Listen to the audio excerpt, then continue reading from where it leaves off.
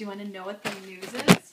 Mom, We have something to tell Mom, you. Can you hold my? um, Sure. Can you hold my um my um balloon? Sure. Can we have something to show you and tell you? Okay. Okay, so today we went to the doctor, and the doctor took pictures of the baby inside my belly How? with a special machine called an ultrasound. What's an ultrasound?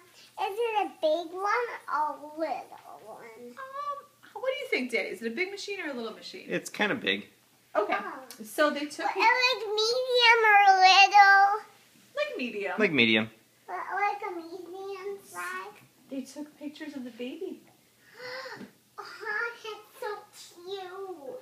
and do you know what? They told us that the baby, And I want the baby is a boy. The baby is a boy. yeah. Whoa. Instead of a girl. Yep, instead of a girl. Are you excited? You'll have a little baby brother. How does that sound? Good.